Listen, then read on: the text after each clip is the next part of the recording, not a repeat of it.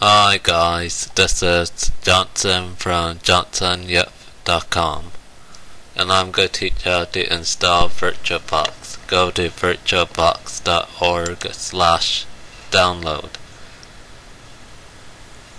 And yeah, you download the file which is Ubuntu 10.04 and click OK then you open it with the Gdebi package installer. Click install packages. Type in your root password.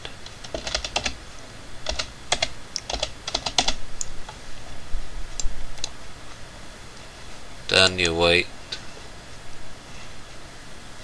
And you look over your details and stuff Go to Application System Tools VirtualBox.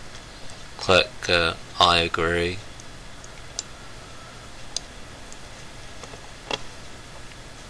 And click New.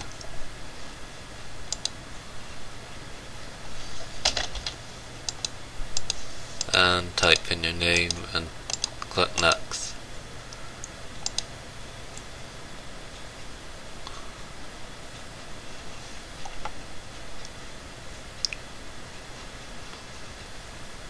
So you can right click on the virtual machine and click settings to make changes to your machine like boot order and stuff.